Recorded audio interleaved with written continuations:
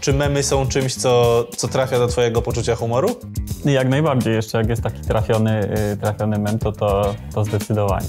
Zdecydowanie. No dobra, to sprawdźmy. Przygotowaliśmy dla ciebie przegląd memów, zobaczymy, czy, czy te akurat do ciebie trafią. Zobaczymy, których nie widziałem jeszcze. Tak, zobaczymy, co z tego wyniknie. Pierwszy byłem całkiem trafiony. To już też była reakcja chłopaków, jak e, mieliśmy po Wiśle to pierwsze spotkanie, znaczy kończące spotkanie, całe, całe zgrupowanie.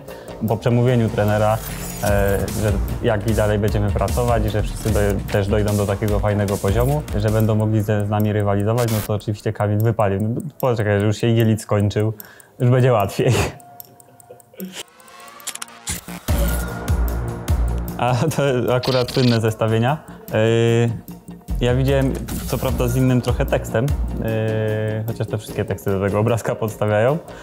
Yy, właśnie było coś na zasadzie, yy, że najpierw, najpierw yy, ta gówniara z paletką, a teraz jeszcze ten anorektyk yy, z nartami. Ale tak, yy, memy z Robercikiem dość, dość popularne w ostatnim czasie.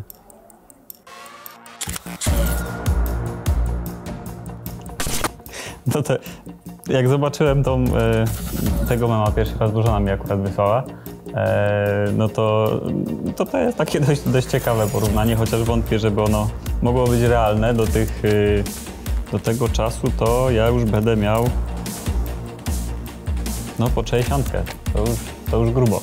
Ja nie wiem, czy po, po 60 oni mi to takie, takie włosy te, siwe dali, jakbym, nie wiem, ja to wyglądam jakbym miał z 80 lat, a nie 60.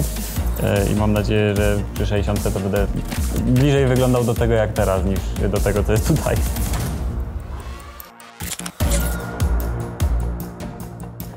A to już jest klasyka gatunku. Yy, memy jeszcze z czasów, kiedy, kiedy się bardzo wysoko yy, mi zdarzało latać. To jak najbardziej widziałem już wielokrotnie. No to jest akurat ciekawe. Yy, Kubacki w formie. To, jest- to jest cieka, ciekawa akurat forma, forma żartu. Pomysłowo, pomysłowo. A, a i to jest chyba to ostatnie, co miałem, co, jest, co nie jest memem. Furorę w internecie robi e, ostatni punkt. Wtedy na pytanie, jakie mam marzenie, odpowiedziałem, że moim marzeniem jest osiągnąć sukces w sporcie, założyć rodzinę i być szczęśliwym. Nie wiem, ile miałem wtedy lat, ale jakoś, jakiś chyba przypływ weny. Widocznie chyba od dziecka twardo stąpałem po ziemi.